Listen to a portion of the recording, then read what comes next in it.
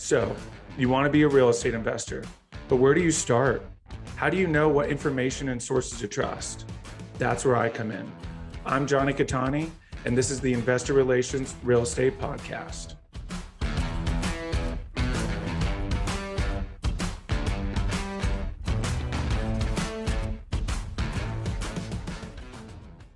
Hey guys, real quick, before we start, go to investwithcattani.com and download my free ebook, Is Commercial Real Estate Recession Proof? Now to today's show. What's up, guys, and welcome to another episode of the Investor Relations Real Estate Podcast. I'm your host, Jonny Cattani, and I'm joined today by Amanda Han. As both a tax strategist and real estate investor, Amanda helps investors with strategies designed to supercharge their wealth building using entity structuring, self directed investing, and income offset opportunities to keep more of what they make. Amanda has a highly rated book, Tax Strategies for the Savvy Real Estate Investor, on Amazon. She has been featured in prominent publications, including Money Magazine, Talks at Google, CNBC Smart Money Talk Radio, as well as Bigger Pockets podcasts. Amanda, welcome to the show. Thank you so much for having me. I'm really excited to be here. Absolutely. We're grateful to have you and very excited for today's conversation. Uh, you'll have to forgive my voice, uh, a little under the weather, but um, take us back to the beginning. Uh, you know, what kind of caught your eye about being a CPA and and then what led you to where you're at now? Yeah, yeah. Um, something interesting about me is I'm a, I'm a real estate. I mean, I'm a CPA by day. I am real estate investor by night, and um, you know, I, what got me, I, you know, being a CPA, I think it was just always uh, in the stars for me when I was young. Um, I was always taught to go to school, get good grades, get a you know steady, secure job, and what's more safe than being a CPA because everyone has to file taxes, right? It's like I'll never be unemployed. Um, and it wasn't until so so I did all that, you know, accomplished life's goals like that my parents uh, provided for me, um, and then I read Robert Kiyosaki's uh, book Rich Dad Poor Dad, which I'm sure a lot of our audience has has done, and um, when, at the time when I was reading his book, I was actually working in a, a, large public accounting firm in the real estate group. So my day job at the time was to help real estate investors save on taxes. Um, but I just never knew that that was something I could do for myself. Was always just like, wow, those really rich clients can use these strategies. And, and here I am just, you know, doing my day job. And, and that book really opened my eyes. Um, and my, my, my husband, who was my boyfriend at the time, um, we decided that we were going to get into real estate investing ourselves. And, um, and that's how we kind of, you know, got involved in, in, in, in the real estate side of things as, as investors too. That's awesome. And I'm sure that's a huge help to fully understand it, not just from you know being a CPA or or tax strategist, but actually being an investor and knowing exactly you know how investors view things and what they want. Um, so let's kind of get into it, right? Um, was actually having this conversation over the weekend about the incentives that are available through real estate to investors.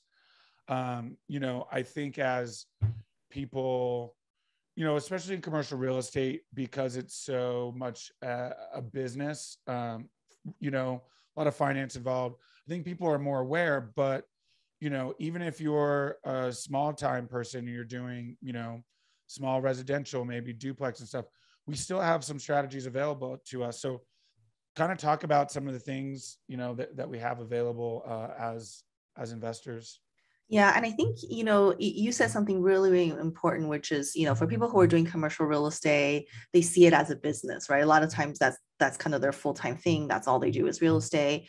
Um, but it's important to understand from a tax perspective that even if you own one single family home that's a rental property, or even if you don't own a single family rental, maybe you're just house hacking where you're renting out a room you know, or part of your house on the uh, Airbnb, um, you are still a business owner, right? Entrepreneur. You're in the business of investing in real estate.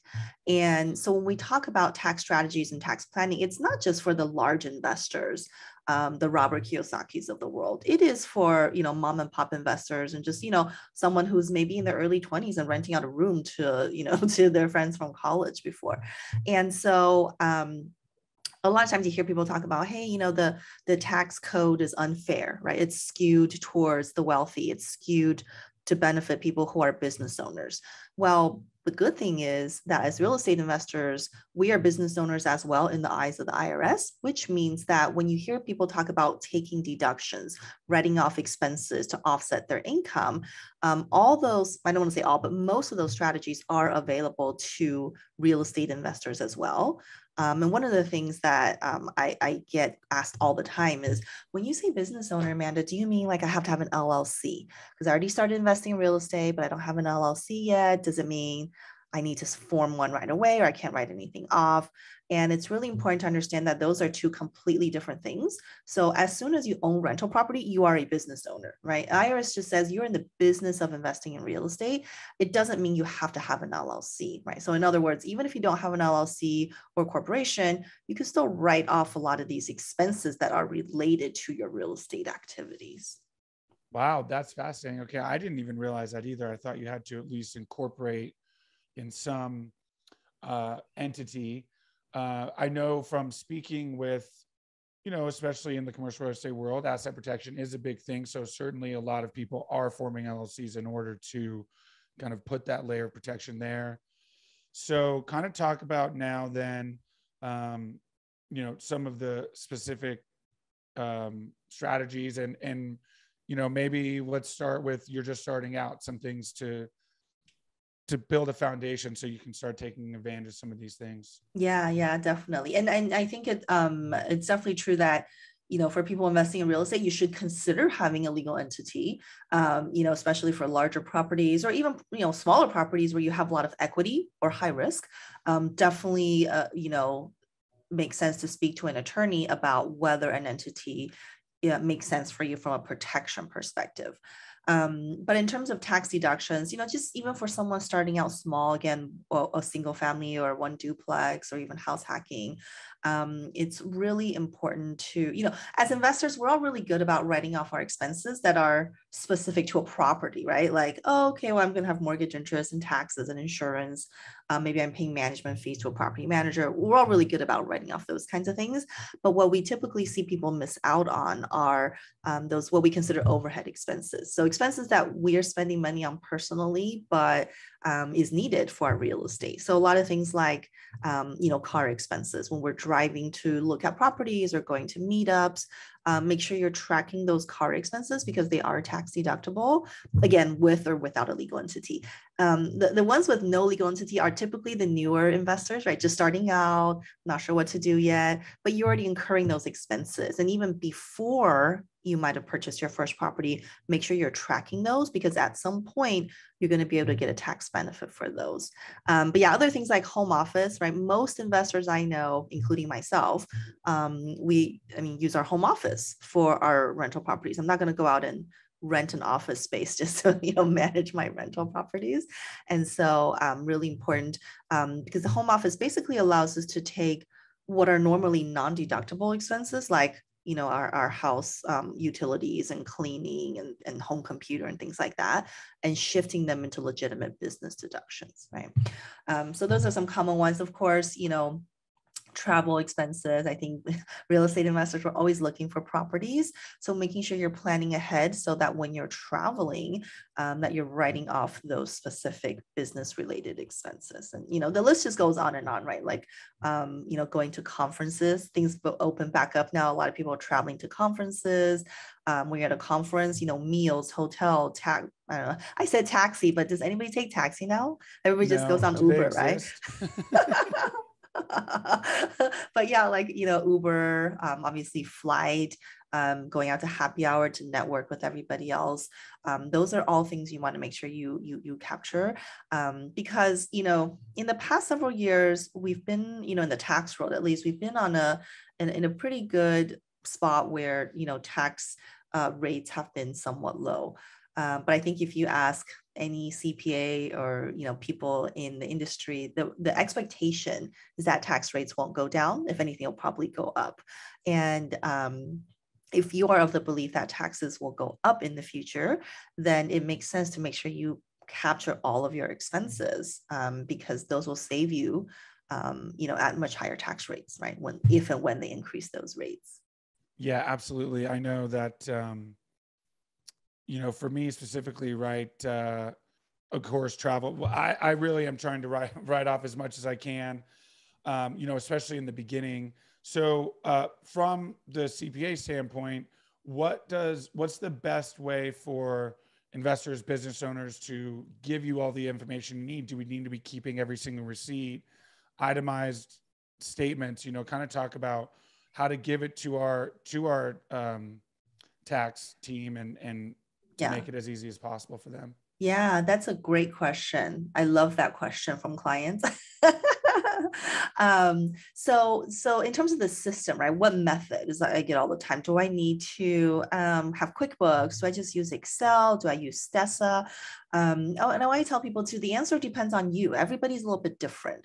And so if you're someone who's really good with Excel, then that might be perfect.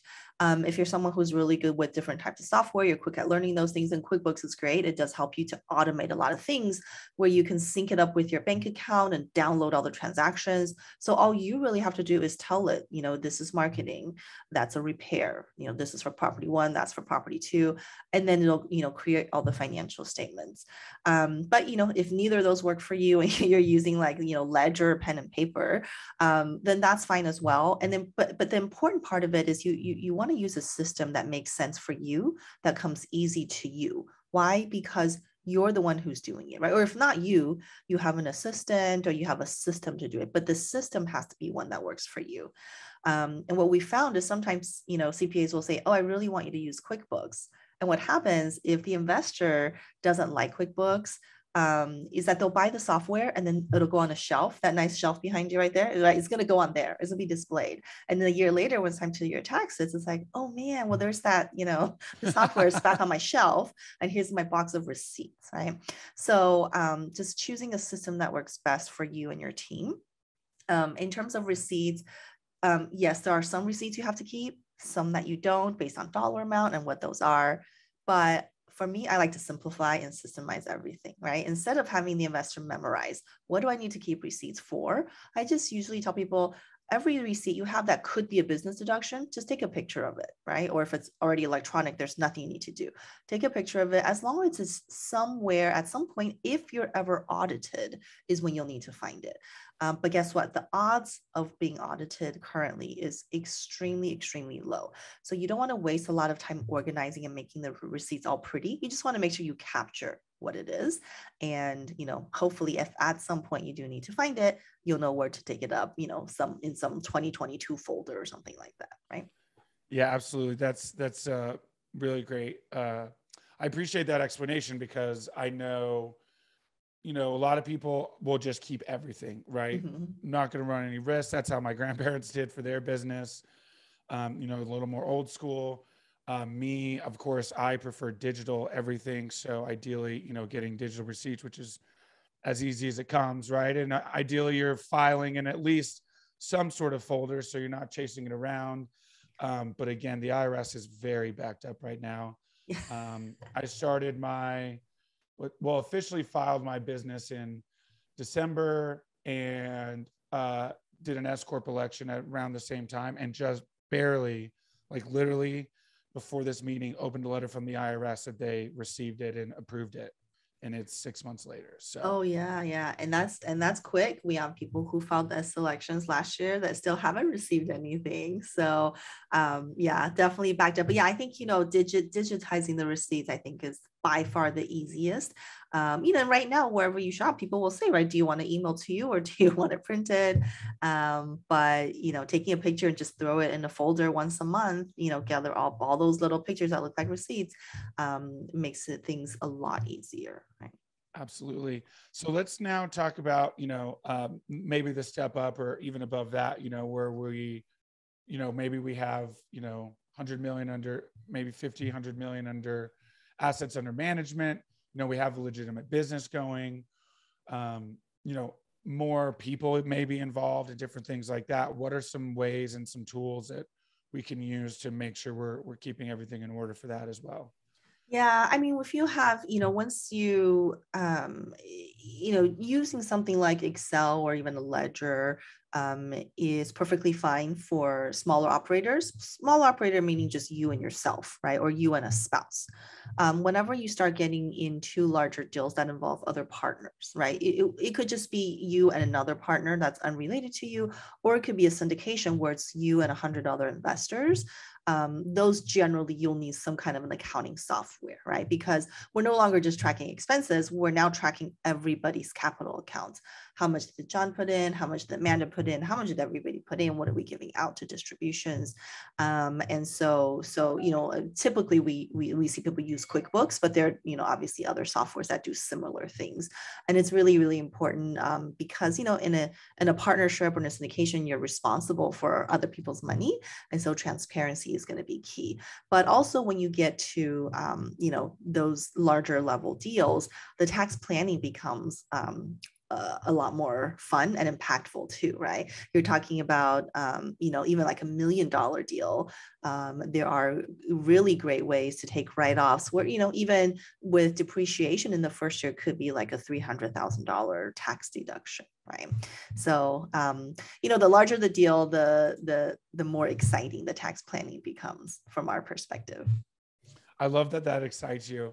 And of course, as investors, you know, the larger deals we do, same thing, right? You just, you know, more zeros involved, more people involved. At least for me, um, you know, certainly people enjoy the the smaller side of things, and I appreciate that. But I definitely it gets me more excited when there's there's kind of more involved there. Um, you know, more problems to solve, so to speak. Maybe big, bigger business to run. Um, so when you're structuring entities there, I know for each deal you're doing individual LLC. So it's probably very important to keep, um, you know, everything itemized specific to that deal. Yeah.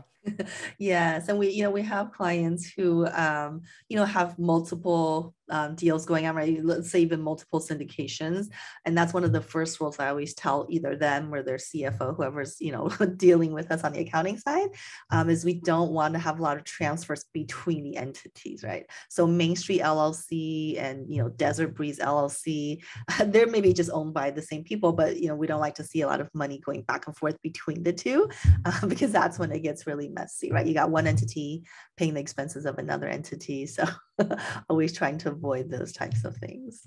Yeah, that's wow, fascinating. Yeah, I'm sure I can imagine you've probably looked at some stuff and been like, wow, there's some cleanup here. Yeah. for sure. And then is there any, you know, like what are some things that we can mess up that could potentially be detrimental? Kind of talk about maybe some little things or even some big things that you know you see go unlooked that could you know hurt us uh, when it comes to do be tax time yeah i mean i think um, legal entity structuring is one of those things that are really really important to get it set up correctly to begin with um, and this is always kind of a you know kind of a consideration just for someone starting out even right it's like well i'd love to have the right entity i love to have a cpa and an attorney and that all sounds great but they all cost money and so maybe I'll try to do it myself on LegalZoom. I'll just listen to some podcasts and go ahead and do it myself. And um, if you're smart enough to get it done and, and, and do it correctly, that's great.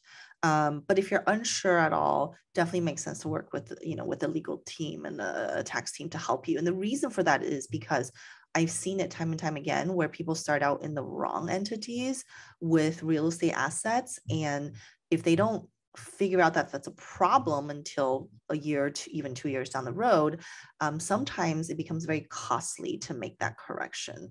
Um, or sometimes you you know we have clients even um, as you know as recent as like last month uh, who I unfortunately have to tell them you know there's not a cheap or easy way to fix it right? And it might be something that we just kind of have to live with the issue um, until the market changes drastically or something like that.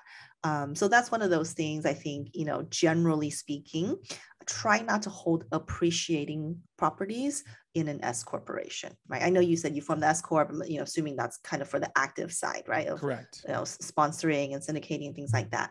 Um, but we don't ever want to hold the real estate in an S corp. Uh, that's one common example I see where people doing it incorrectly. You know, maybe because they didn't know, or maybe their tax person wasn't well versed in, in real estate, and so gave them advice way back when. Um, those that's one of those things. If you know, I bought a property for hundred thousand dollars, now it's worth five hundred thousand, and I've always held it in an S corp. That becomes very problematic because um, it's entirely likely that I might not get all the tax depreciation benefits from the property, um, and it's very expensive for me to move it out. Wow, interesting. Okay, that's a very very good tidbit there for sure because, um, you know, I know, you know depending on what you're doing, right, the S corp election very much has its benefits, but this is one where it's not. And um, you know, me, I had no idea how to set things up, so I went and used a, a specifically uh, SEC specialized attorney. Highly recommend that, you guys. Um, you know, again, if you are an attorney or know how to do it, great. But even not just an attorney, but specifically real estate or even commercial real estate focused attorney make sure you're doing everything correctly you know maybe even like for me i registered in wyoming right a little bit more favorable towards asset protection so even little nuances like that that i didn't know um, yeah. are things you can learn and, and make sure you're set up correctly um, one thing i want to talk about uh, bonus depreciation um, you know everybody loves to talk about it uh, so kind of talk about you know, kind of, I guess, explain what it is a little bit for those who may not know what it is, and then, um, you know, how we can use it to our advantage. Yeah, sure. So we'll start with depreciation first, right? Before we talk about the bonus. So, so as real estate investors, we get to take depreciation. Um, uh, uh, on the building of a property. So, so what that means is if, you know, if I buy a property, I spend $150,000 on a property, if 100,000 that is the building, I can write that off. Usually for residential, it's 27 and a half years. For commercials, 39 years. And um, so, so, so in the residential world, you know, I'm taking the, the building divided by 27 right? So 127th is what I can write off every single year. Um, now, um, to take that a little bit further, what investors can do is what's called a cost segregation or accelerated depreciation. That basically means you are having a cost segregation firm. These are usually people who are uh, have engineering background. Um, so they'll go out and they'll look at this building. So instead of just saying $100,000 of building, they're going to break out the components of that building. Okay, of that 100, maybe there's 10,000 of specialty plumbing, there's 5,000 of flooring, 6,000 of cabinets. And once they do those breakouts, then your tax person is going to be able to calculate faster depreciation. So flooring, for example, instead of writing it off over multiple years, we might be able to write it off immediately this year because of bonus depreciation.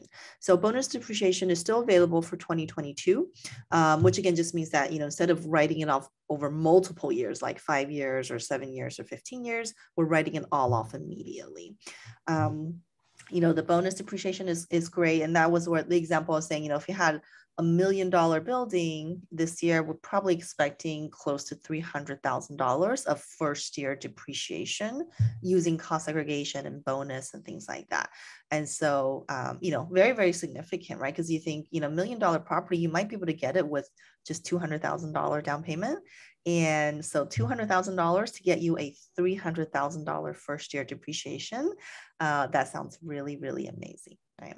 So, um, but the key is this. So this year is still 100%. Uh, next year in 2023, it's scheduled to go down to 80%, which is slightly lower, but still really, really great. Yeah, absolutely. I love it so much. And I love explaining it to people for the first time, you know, like first time investors and them really starting to see the, you know, the power of, of investing in real estate and why so many of us believe in it, um, you know, for that reason. And, uh, you know, I had a friend who works in sales, obviously makes most of his money on commission. He's like, oh man, I got crushed this year in taxes. My CPA literally told me I should start investing in real estate. And I was like, that's awesome, you know, that you have someone who can point you in that direction. So you're, you know, you can at least start to, you know, create that wealth and, and, you know, nobody wants to give all their money to the IRS. Um, so you mentioned that bonus depreciation is dropping to 80%. Um, is there any other legislation you're keeping an eye on that could be affecting that or any other of these tax strategies? always, always. Um, so uh, yeah, last year. And so in 2021, there's a lot of, um, you know, proposals about tax changes. And in fact, I don't know if you recall, um, there were, there, there was a target on the backs of real estate investors, right? One of the things that President Biden had talked about was trying to eliminate the, um, a lot of the unfair advantages uh, of real estate investors. And um, the good news was by the end of the year, none of those proposals were passed. And so we kind of all had a sigh of relief, right? Uh, but that was short lived. So in March of 2022, um, the administration released the 2023 budget. And so within their budget, you know, they talk about basically how, you know, what, what they want to spend money on. But part of that needs to talk about how we're going to get the money where we're going to get the money to spend um, so you get a glimpse into what what is what are the thoughts behind tax increases. Um, so a couple ones that we're keeping an eye on um, for real estate investors. Um, one is increases to marginal tax rates. So just ordinary tax rates. Uh, and that's important for real estate investors because, you know, when we have active income from syndications, with, when we have taxable rental income, they're all at ordinary tax rates, right? Um, so the the the part of the the potential proposal will be to increase that from 37% to 39% and also impacting people at lower uh, much lower income levels. So for singles uh, 400000 and above for married individuals for 50 and above combined. So huge marriage penalty for people who are trying to decide if they should get married or not. Wow. You typically see it going in the opposite direction for marriage right? It's more in your favor you know like uh selling your home, your main residence, right? Yeah. Um, yeah. Or, yeah. Doubling, right? So, yeah. like, if you're single, you get 250. If you're married, you get 500. Uh, and this is what we were thinking too, right? So they said, okay, we're not gonna, you know, one of the the comments was we're not gonna raise taxes for people who make under 400. So we're staying true to that because if you're single, you make 400 or less, your your tax is not going up. And you so you would think as a married couple, then it's 800, right? Because we're each gonna make 400. But no, as a married, you only get 450 total. um, so that's what we're keeping an eye on, right? Again, that impacts, you know, not just W 2 or business owners, but also real estate investors too. Um, the other big one is 1031 exchange, right? Of course, um, 1031 exchange is one of those. Um, you know, wonderful uh, strategies that investors can use where we sell a property with a lot of gain, but don't have to pay any taxes as long as we are reinvesting the money into uh, replacement property. So right now there's no limit, meaning, uh, you know, Jonathan, you can sell and have a $10 million gain. You can 1031 exchange and defer all of that into bigger, better properties and pay no taxes if you wanted to, right? If you follow all the rules, you can do all that. So one of the proposals is to have a limit on that of up to $500,000 per year per taxpayer. So that means if you sold, you know, you sold a property for, let's say, um, $2 million of gain, you can 1031 exchange, but only helps you to defer 500,000 and you can have to pay taxes on the other 1.5. So very, very significant. wow. They really uh, do have a target on our backs. Uh, any idea why that is? why that is? Uh, I think it's just the narrative, right? Is um, you know, people are always talking about uh, you know, wealthy people not paying enough taxes. Um, you know, real estate investors are, are typically painted as is, you know, bad landlords, right? Landlords and greedy people and um, and just, you know, a lot of loopholes. I mean, I think the fact that real estate investors get tax benefits is is not a secret, right? Everybody knows that. Um, but I think what oftentimes maybe the lawmakers aren't seeing uh, is going back to the original intent. Why do we have these benefits? Uh, and and you know looking the alternative, which is why are these people paying less taxes? Well, investors are paying less taxes because we're incentivized to do the right things. And I see this in real life scenarios all the time. You know, for example, I have a client who's an investor. You know, maybe they own an apartment And um, the question becomes, you know, should I do some improvements this year? Should I replace all the appliances for my tenants this year? And my answer would be, yeah, because this year we have bonus depreciation. Let's do it sooner rather than later. And so you'll get a tax benefit, and your tenants will have uh, you know, better um, living environment too, right? So, so why the target is because the incentive is designed to help us achieve a goal. Um, but you know, then there are other you know naysayers who are saying, well, that's not fair, right? yeah, that, that was a very very great explanation. I I tell people the same thing, right? The reason those incentives are there is because you're literally, you know, talking about at least in the space of you know multifamily um, which is the most common asset class we talk about, is you're literally talking about a necessity of life, right? Mm-hmm. Place someone needs to live. So there's incentives to give them better quality of living, and you know, um, so yeah, it is pretty fascinating um, to see, and definitely something we'll be keeping an eye on. Uh, hopefully, the bonus depreciation comes back in our favor.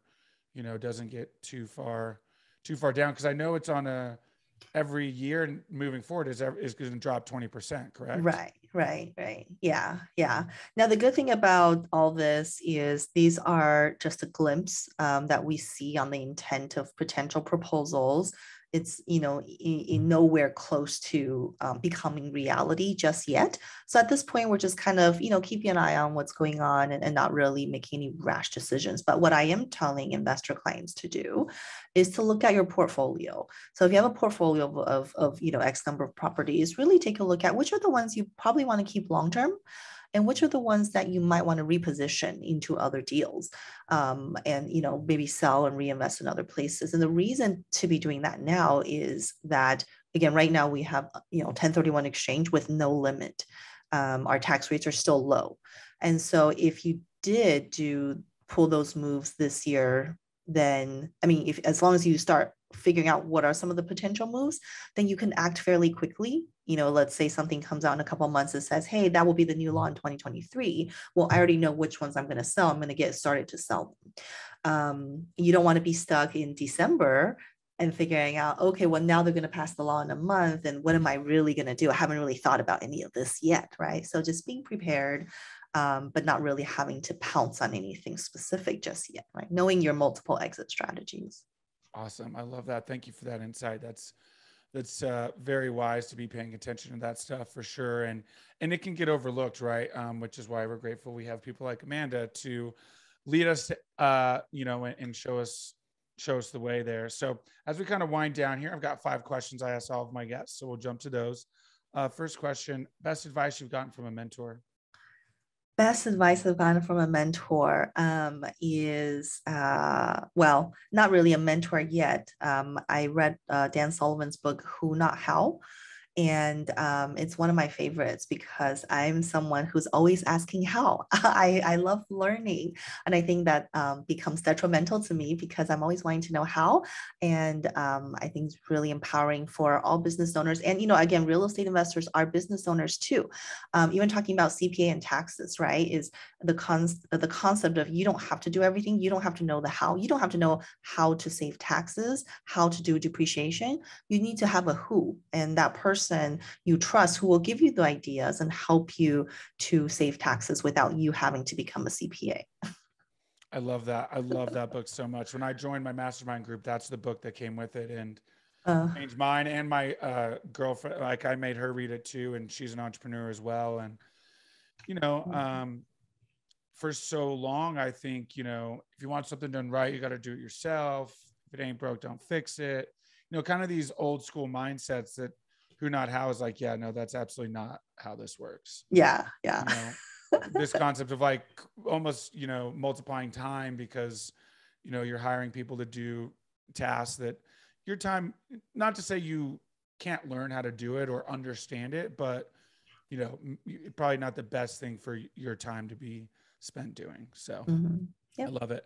Uh, what is it about your career that makes you feel like you're fulfilling your why um, gosh, you know, I for my career, um, you know, in helping people save taxes, it's just really my passion. I feel like that um, taxes are are often pitched as like you know scary, or boring or just something to be avoided, right? I think even you were saying earlier, like, oh, it's been a while since we talked about this topic, probably because you're trying to avoid it. It's not as fun or sexy as raising money or, you know, cash flow.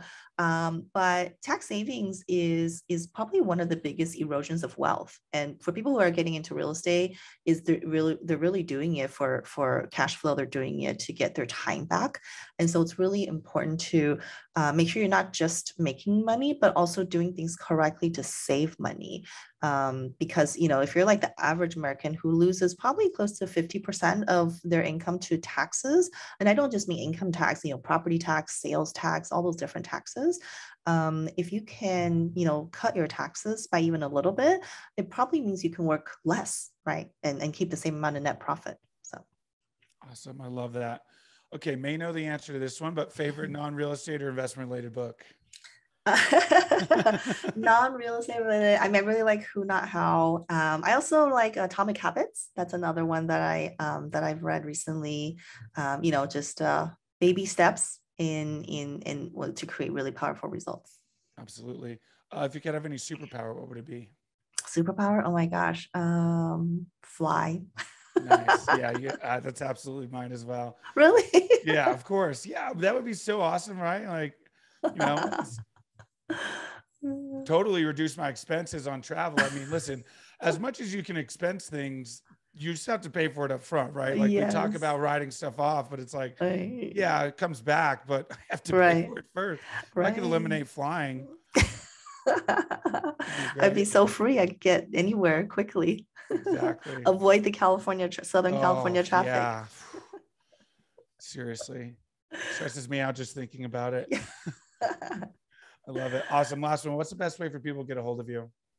Um, so uh, probably through my website, which is keystonecpa.com. Uh, there you can find my contact information. And we also have a downloadable ebook uh, called Tax Strategies for the Savvy Real Estate Investor.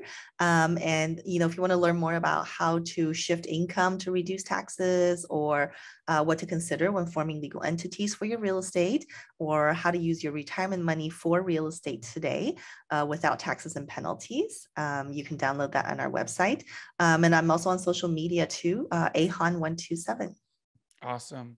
We'll link down the show notes. Amanda, thank you so much for your time and all of your insight. I really appreciate it. Yeah, thanks for having me. Absolutely.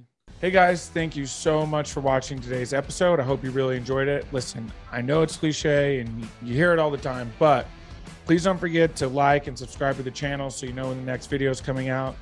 Even though this is technically a daily podcast, you know it's coming out the next day. Um, we have a ton of content coming your way.